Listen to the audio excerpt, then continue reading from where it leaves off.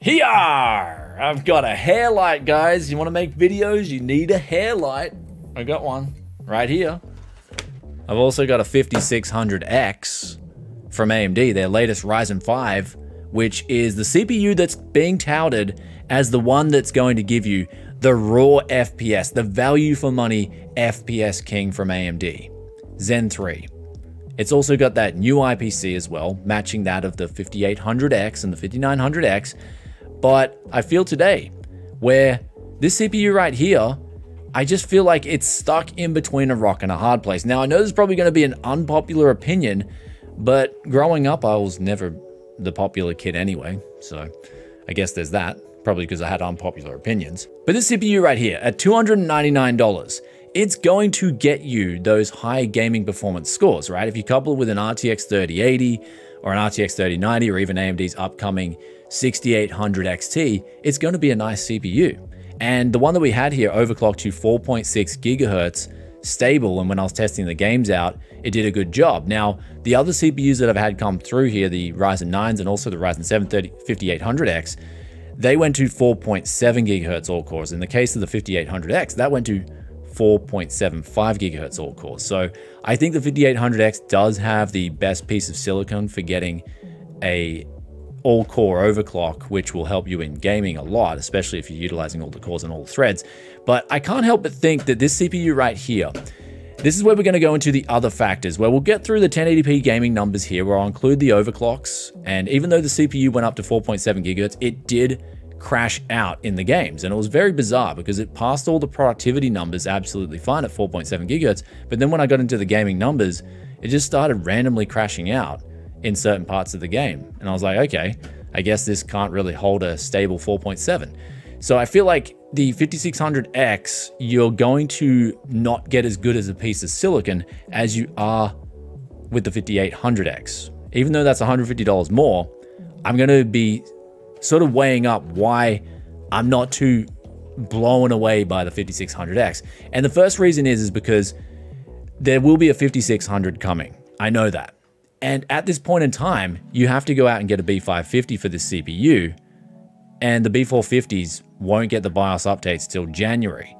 So if you're looking for that budget play where when the 3600 came out, for example, that came out with a real hard hitting price, 6 cores, 12 threads, came with the Wraith Stealth as well, but you could couple that with an A320 motherboard or a B450 motherboard and you were having really good value for money as well as overclocking some budget 3200 megahertz memory. Now, of course, there are cheaper B550 motherboards, but they're still more expensive in general than a B450.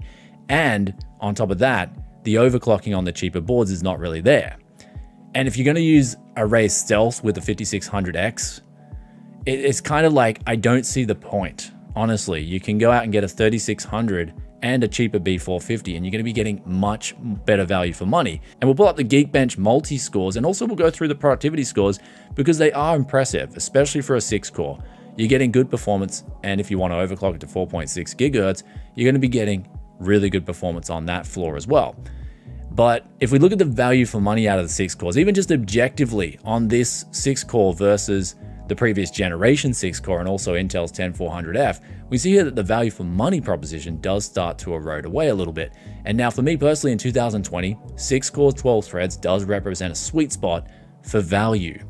And so if you're going to go and get one of these CPUs and say couple it with a high-end GPU, this is the next point that me as a person who sells gaming PCs and partakes in the market quite a bit, I wouldn't personally go with a 6 core 12 thread and a high end GPU. And the reason for that being is the resale value is just not there. And trust me, I've tried reselling a 6 core 12 thread, an i5 or a Ryzen 5 with a high end GPU, and pretty much there's been no interest for it. Everyone wants a Ryzen 7 or an i7, and if you got a Ryzen 9 or an i9 in there, thing moves like quicker than you can imagine. Not gonna put the I'm not gonna put the terms that I'd usually uh, tell my mates in this review, but it just moves pretty slowly, put it that way. And so your resale value with this, with the high-end GPU, of course, is just not going to be there. And then if you're on a budget, this is the thing. People like, you should check out the Ryzen 5 5600X for budget users.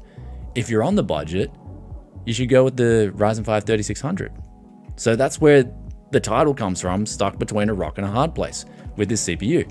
I'd personally, if I had the extra funds, I'd go out and get a nice motherboard, nice cooling solution, and go for the Ryzen 7 5800X. That's just my personal opinions. I've never held back. And you probably may be wondering the next question is, well, what about the 10600K, dude? You took a look at that and you reviewed that. And the truth there is, I actually didn't uh, take a look at the 10600K. I think I included some benchmarks in the 10900K review, but I was personally not keen on the 10600K. And I told people that as well. So you can go back through my channel where I was actually probably one of the few guys who didn't like the 10600K. So nothing's changed. Nothing's changed from AMD to Intel. The brand names, they it really doesn't matter to me, guys, with the brand names. So what you're getting here with the 5600X is a CPU that will do the job, but I feel like with all the augmented factors at play, all the extras, all the little gritties that come along with the six core, I'd personally go for the higher core counts at this point in time, or wait for the Ryzen 5 5600 and the B450 updates to drop, where you're going to be saving money on the latest Zen 3 CPUs when that comes out, or you're going to be um, saving money on a B450 motherboard, or both. And at the moment, for me personally, it's a patience play. And I've, as an individual, I'm a pretty patient dude. Uh, when I was a kid, I remember I'd go to school and my mum would uh, pick me up this is like when I was eight or nine years old. Mum would pick me up from school because she finished work at like 5.30. My old man was working as well uh, till pretty late. And so I get picked up at school like 5.30 or something p.m.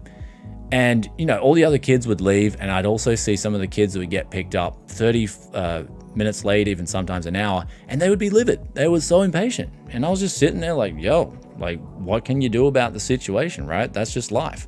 So I guess when I was a younger, a younger lad, I learned to be patient. And patience is a virtue, especially if you want to make the best decisions or the best purchasing decisions, then patience can really pay off. And so that's where my review of the 5600X comes into play. And as I said in the intro, probably not a popular opinion, but I've never held back here on the channel with my uh, opinions on products and when I review them, what's the take.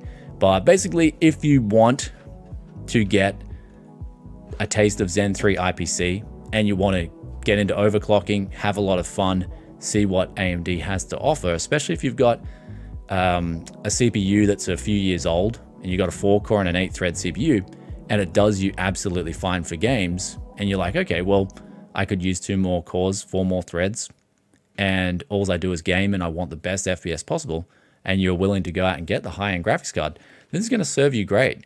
Another thing is too, is we look at the 4K numbers. If we look at the 4K gaming numbers, your money's uh, better off saved and going with even the Ryzen 5 3600 or the 10400F again. So the numbers are all there, but in terms of the recommendations and the opinions, I guess that's just my two cents on the 5600X. Anyways, if you guys enjoyed today's video of the Ryzen 5 5600X, be sure to hit that like button for us. Also, let us know in the comments section below. What's your thoughts and opinions on this CPU right here? Do you have differing thoughts and opinions to me, or do you think I've hit the nail on the head? It's always good. I love a good conversation in the comment section below, just like this comment right here. It's actually not a question of the day, but it's from Mike DG, and they say straight to the point as it should be. And this has actually been a focus of mine with product reviews lately. You guys have certainly been loving the just get straight into the details, hit it to you guys so you can make an informed decision. And for me personally, there is so many new uh, products just coming out and they just keep coming through here. And I'm like, well, I, honestly have to make them a lot faster. Otherwise, I'm just not going to get the work done. And so I think somewhere in the process, you guys are loving the faster reviews straight to the point. I'm actually loving them too. I'm like, actually, this is how it probably should be done. So awesome that you guys have been noticing that. Thanks for watching, and I'll catch you in another one very soon. If you stayed this far and you're enjoying the content, as always, make sure to consider hitting that sub button, ringing that bell too, and I'll catch you next time. Peace out for now. Bye.